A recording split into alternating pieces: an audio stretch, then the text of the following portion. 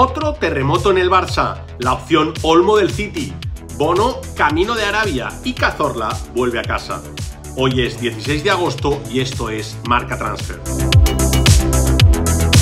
No hay día tranquilo en el Barça. Deco ya es el director deportivo. Mateu se va y puede acabar en el Tottenham y Ansu abre la puerta de salida. Locura.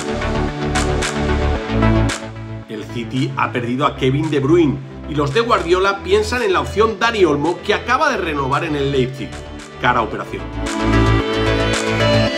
Bono sigue los pasos de Neymar y puede acabar en el Al Hilal de la final de la Supercopa de Europa al fútbol árabe en una operación de 21 millones de euros.